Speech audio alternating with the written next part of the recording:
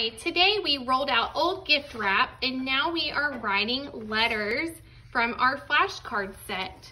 You can do this with just letters in one color of marker or you can do letters in the morning with one color of marker like we are now and then use another color of marker to do words you're working on at home.